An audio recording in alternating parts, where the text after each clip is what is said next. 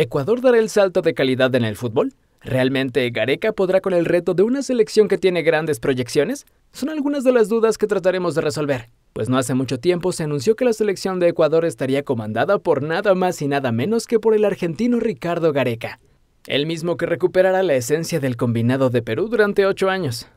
Hasta ahora no es nada concreto, pues el argentino no ha cerrado nada con los dirigentes ecuatorianos, pero parece que sería el elegido. A falta de concretarse el trato. Si quieres saber más acerca de este tema, quédate hasta el final del video. No olvides suscribirte a nuestro canal y activar la campanita para que no te pierdas nada de nuestro contenido. Comenzamos. La selección de Ecuador tuvo una buena participación durante el Mundial de Qatar 2022, en el que desafortunadamente no logró pasar a la siguiente ronda. Pero para muchos dejó muy buenas impresiones, demostrando que cuenta con un excelente material humano para un buen tiempo. Entonces, ¿qué fue lo que pasó? La Tri tuvo un inicio espectacular en el Mundial, derrotando a los anfitriones de manera contundente y demostrando que estaban para grandes cosas en la justa mundialista, derrotando a los catarís por un marcador de 2 a 1 que en realidad pudo haber sido más holgado. Para su segundo partido, se midió ante los siempre poderosos Países Bajos, que de manera magistral empataron por marcador de 1 a 1. Todo parecía indicar que los ecuatorianos se quedarían con el pase a la siguiente ronda, pues en su último partido contra la selección de Senegal solo les bastaba con un empate para cerrar su pase. Pero de manera increíble los africanos salieron mucho más concentrados en ese partido y mostraron su mejor versión, siendo superior línea por línea a los ecuatorianos durante todo el partido, lo que dejó un marcador en contra para la Tri que los dejaría fuera de la fase de octavos de final. Pero si después de dos partidos que habían demostrado gran nivel, ¿cuáles fueron las claves para la eliminación de Ecuador en el Mundial de Qatar? Número 1. Sus referentes no aparecieron. Antes de iniciar el encuentro más importante que estaba en puerta, el ahora ex técnico de la selección ecuatoriana, Gustavo Alfaro, aseguró, aunque el empate les alcanzaba para lograr la clasificación, no saldrían a escatimar en el resultado y buscarían la victoria. Si salimos a empatar perderemos protagonismo y nosotros necesitamos protagonismo. Saldremos a ganar porque tenemos un bloque ofensivo muy bueno y una defensa muy sólida, dijo el entrenador. Pero al parecer los referentes del equipo no entendieron el mensaje, pues no se desempeñaron de la misma forma que lo habían hecho en su primer partido frente al anfitrión. Tampoco mostraron la garra que habían dejado ver cuando se encontraban abajo en el marcador frente a Países Bajos. Con su máximo referente al ataque, Ener Valencia apagado, Ecuador no mostró el mismo desequilibrio que había mostrado, dejando una tarea fácil al equipo africano. Por otro lado, la defensa que se había comportado como una muralla con sus dos jóvenes, pero experimentados centrales, encabezados por Piero Incapié, jamás lograron detener los ataques venenosos de los africanos. El mismo Incapié dejó salir su juventud al cometer un penal bastante torpe, que los senegales no desaprovecharon. Aún queda la duda de si el delantero Ener Valencia llegaba en las mejores condiciones físicas, pues en los dos partidos previos había mostrado síntomas de dolor en una de sus rodillas. Número 2. Trabajo del entrenador. En todos los países y en todas las selecciones siempre se corta por lo más delgado, el cual suele ser el entrenador, y en este caso no fue la excepción, pues los medios en Ecuador están seguros de que los cambios que realizó el argentino en ese momento no fueron los adecuados, para ayudar al equipo a que pudiera mostrar su mejor versión. Todo pasó por media cancha, aseguraban los medios en Ecuador. El medio campo formado por Carlos Grueso, Moisés Caicedo, Alan Franco y Gonzalo Plata no detuvo en esos primeros 45 minutos ninguno de los avances senegaleses, ni aportó a la dupla atacante formada por Valencia y Michael Estrada. Alfaro puso a Franco y a Grueso por Jackson Poroso y el suspendido Jackson Méndez. Pero fue tan pobre el primer tiempo de la tri que ambos jugadores fueron reemplazados para la segunda mitad. La ausencia de Méndez, que vio la segunda amarilla en el empate con Países Bajos, se sintió especialmente en el medio campo. El ingreso de Jeremy Sarmiento y de José Cifuentes pareció darle más juego al equipo sudamericano que mostró su mejor cara en los primeros minutos del complemento.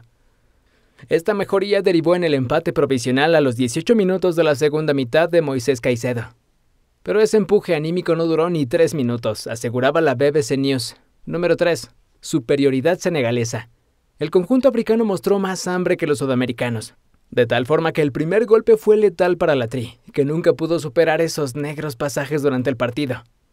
Logró conseguir el empate a base de empuje, pero como había sido todo el partido, los africanos volvieron a pisar el acelerador para darle el golpe final a las aspiraciones de los sudamericanos. De esta manera nos damos cuenta de que, a pesar de haber mostrado buenas cosas durante la justa mundialista, no fue suficiente, por lo que la consecuencia fue la salida del entrenador argentino al frente de la selección. Por su parte, Gustavo Alfaro, de manera elegante, publicó su despedida en sus redes sociales con el mensaje, Gracias muchachos, gracias Ecuador. Para de esta manera darle punto final a su relación con la Tri.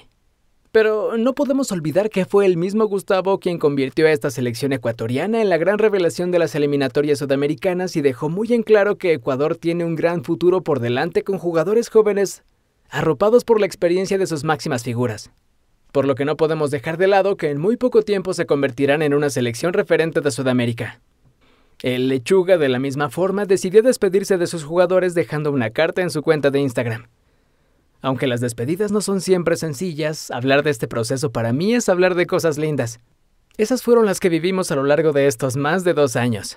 No hay lugar a donde vaya en el que no me hablen bien de Ecuador. Lograron algo que en fútbol es muy difícil, identificación. Cuando alguien se identifica con algo o con alguien es porque ya trascendió el resultado. Siempre les hablé de la importancia del camino más que de la meta. Lo fascinante estuvo en los rincones y las adversidades que tuvimos que superar. El camino estuvo asignado por triunfos, derrotas, críticas elogiosas y otras dolorosas. Según lo supimos vivir, siempre lo transmitimos detrás de la ilusión que nos generaba el sentimiento deportivo más sublime que se puede tener, representar a la selección de un país. Siempre habrá utopías que conquistar y cielos para explorar. Después de este proceso, mucho más. Detrás de ellos iremos. Gracias Ecuador por todo. Hasta siempre. Los voy a extrañar. Los quiero mucho. Hasta siempre, finalizaba Alfaro. De esta manera la tri se quedaba a la deriva, sin un capitán que lo llevara a un nuevo curso. Pero no hace mucho comenzó a sonar el nombre de Gareca, el técnico argentino que ha tenido buenos pasajes en el fútbol, pero que no ha logrado dar el gran salto. Por lo que la duda sobre si es el técnico ideal para la tri ha hecho que más de uno lo ponga sobre la mesa. Gareca es el nombre que más suena, pero revisemos un poco su historia. El técnico argentino tiene mucha experiencia dentro de las eliminatorias sudamericanas, pues no hace mucho estaba al frente de la selección de Perú, la misma que se quedó en la reclasificación para asistir a Qatar, por lo que en el país inca decidieron que ya no fuese más el técnico. La duda surge porque el trabajo hecho por Gareca en la selección de Perú, algunos podrían llamarla milagrosa, pues los incas no contaban con grandes estrellas, mucho menos tienen entre sus filas a grandes representantes y tampoco promesas a futuro, pero aún así logró dar pelea en una de las eliminatorias más duras del mundo. Por lo que piensan que con Ecuador, que parece estar frente a uno de sus generaciones doradas con un tipo como Gareca, lo haría volar. Pero eso podría ser relativo, y lo único que estaría volando sería nuestra imaginación, pues el trabajo que hizo Gareca con la selección de Perú para nada garantiza que será igual o mejor con los ecuatorianos. En primer lugar, vienen de una ideología diferente con un técnico que actuó muchas veces más que como entrenador, como padre de algunos de ellos, por lo que el vínculo que formaron es muy fuerte. En segundo lugar, porque así como en cualquier deporte, en el fútbol el éxito no está garantizado por tener excelentes jugadores, ni por hacer grandes inversiones. El éxito lo consigues con base en el trabajo, que haces día con día. No con esto queremos decir que Gareca no está capacitado, pero sí dejamos en claro que su presencia no funcionará como una varita mágica. Gareca es elegido como un gran candidato para dirigir a Ecuador por su gran conocimiento dentro del ambiente sudamericano, también existe un tema bastante importante, pues después de dejar su cargo con Perú se encontraba como agente libre, a diferencia del otro contrincante que era el uruguayo Guillermo Almada, quien actualmente se encuentra dirigiendo al Pachuca de México. Y después de ver los salarios que perciben los técnicos en México, podría resultar un poco complicado hacer una oferta interesante para él.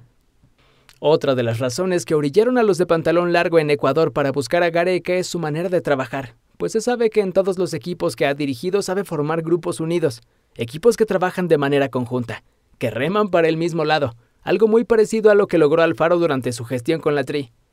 Ahora veamos las diferencias entre entrenadores.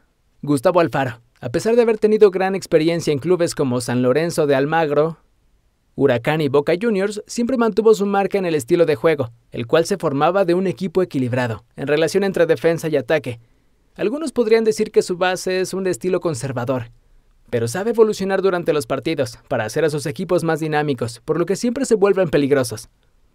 Los esquemas más utilizados de Alfaro parten siempre desde cuatro jugadores en la línea defensiva, bajo un 4-4-2 o un 4-2-3-1, con aspectos muy similares al momento de armar la saga en ambas formaciones.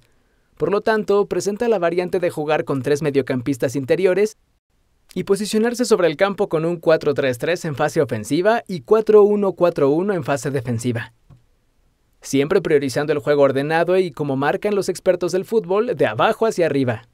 Ecuador solía replegar sus líneas en un bloque defensivo corto y contraatacar, de forma directa o asociada, para aprovechar los espacios o a espaldas de las defensas rivales adelantadas. Es uno de los métodos que mayor rédito le dio. Claro, y con la muralla defensiva comandada por Incapié y Félix Torres, podía arriesgarse, porque estaba seguro de la velocidad y precisión de sus pupilos. Pasemos con su contraparte, Gareca. El entrenador argentino nos ha demostrado que puede hacer y rehacer proyectos desde cero, tal como lo hizo con la selección de Perú desde hace ocho años en la que nos demostró que sabe adaptarse a las circunstancias que se le puedan presentar durante los partidos. Pero veamos una de sus alineaciones en las que mejor se ha desempeñado la selección inca. Gareca gusta de jugar con un 4-2-3-1, resaltando la base defensiva formada por cuatro elementos, los cuales se mantendrían ahí, con dos contenciones en medio campo para reforzar el trabajo defensivo y la recuperación de balones. Adelante cuenta con tres medias puntas, quienes serán los que pueden hacer ataques por las bandas y el centro, y quienes también deberán de surtir de balones al único delantero en punta. Con esto, el entrenador argentino tiene dos opciones de funcionamiento dentro del campo, pues en caso de que su equipo no pueda salir con la bola en los pies, con el delantero que tendrá en punta podrá desahogar el peligro tirando un pelotazo al frente. De esta manera el delantero bajará el balón y se podrá apoyar con los tres media punta que estarán alrededor. ¿Cómo quedaría la alineación de Gareca con los jugadores de Ecuador? Galíndez en la portería, en la central estarían Félix Torres y Piero Incapié, y por las bandas, Estupiñán y Ángelo Preciado. Delante de ellos cuatro quedarían Moisés Caicedo y Jackson Méndez. Los tres mediapuntas serían Romario Ibarra, Gonzalo Plata y Michael Estrada. En la punta y como máximo referente de la selección, Ener Valencia. De esta manera y con jugadores bastante dinámicos, Gareca podría desarrollar un fútbol vistoso. Parecería que lo único que faltaría es que pueda lograr hacer el vínculo con los jugadores para que puedan conseguir grandes cosas, pues como sabemos en el fútbol de altos niveles, más que ser un gran estratega, un técnico necesita saber gestionar su vestidor y mantener la armonía dentro del mismo. O realmente lo puedes lamentar tal como le sucedió a la selección de Portugal en el mismo Mundial. Pero eso será otro tema que tocaremos en el futuro. ¿Crees que Gareca es el entrenador que necesita Ecuador o deben buscar otro? ¿Qué piensas? Déjanos tus respuestas en la caja de comentarios. Te leemos. Por lo pronto nos tenemos que despedir, no sin antes recordarte el pulgar arriba. Recuerda que estamos conectados por el fútbol. Hasta pronto.